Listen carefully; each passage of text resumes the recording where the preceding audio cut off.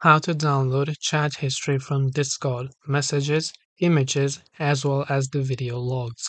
So if you want to download all the messages and all of the video logs, all of the photos, it's not quite simple to do this because we have to request for our data. Now, you cannot just choose one particular DM, but you can ask for the whole messages instead. For this, you want to go to your user settings by going to the gear icon right here. From here, you want to simply go to privacy and safety. From privacy and safety, you want to scroll all the way down. Under request all of my data, you can say request data. Once done, since we only want messages, we will only select messages here and we will click on request my data. Most likely, you can see it says our privacy farmers have begun harvesting your data. This can take up to 30 days, but we'll email you when it's done. So when the messages files are ready, it will be emailed to you. And they might not be in a format that you might want. It might be in some kind of other format like uh, .json or something like that.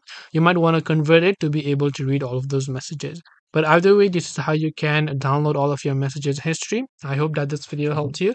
If you have got any questions, feel free to leave them down below. Thank you for watching till the very end of this tutorial. And as always, see you soon in the next video.